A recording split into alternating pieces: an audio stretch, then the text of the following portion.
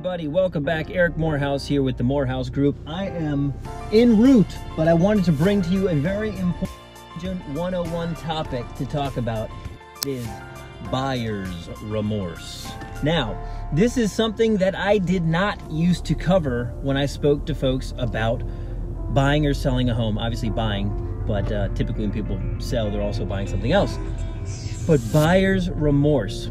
I think that it needs to be addressed as early as uh, you know a buyer presentation. When you first sit down and chat and you discuss the contracts and expectations and stuff like that you have to.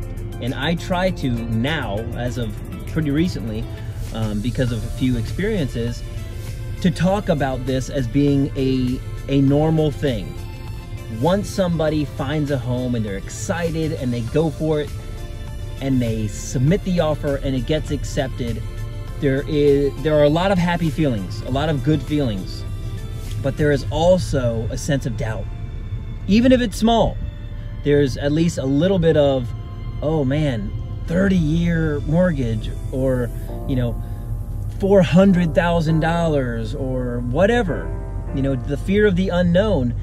And I do believe that if you talk about this in the beginning of the process, that when folks, when your clients are starting to feel this, they're not so thrown off by it.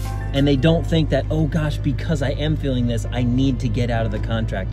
I made a mistake. We've got to stop this. They might say, oh, I'm feeling this. I'm nervous. This is a big decision. If I didn't feel nervous and I didn't feel like it was a big decision, maybe that would be the problem. So with that information as a tool, an arrow in their quiver, they can know, hey, I'm facing something which is normal. Everybody does it. And with that information, I can just say, take a deep breath. Let's talk about reasonable concerns and, you know, possible outcomes. And then let's talk about the good stuff. What we did find, what we do like, what we're happy about. So that's what I would recommend to you all out there, whether, again, you're new or seasoned is mention it. And I know it's a weird thing to think that you need to mention something that's a negative. Um, but I would encourage you to do it because what could happen and what happened to us not so long ago is we had three back-to-back clients who were super excited, went shopping, found what they liked, put an offer in on it, and then essentially just changed their mind. Either they they, they lost interest or they got nervous or you know they spoke to a significant other and they gave them a kind of a conflicting opinion about the place whatever.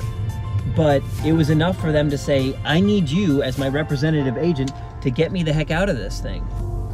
And i do believe that in hindsight if i had said you're gonna feel these things it's gonna feel not perfect sometimes that they would not have wanted to back out of the contract and we would have had three deals under contract go to close. That's my recommendation. If you have any other topics you'd like for me to cover, put them in the comments below and have a great week. Sell some homes. Take care.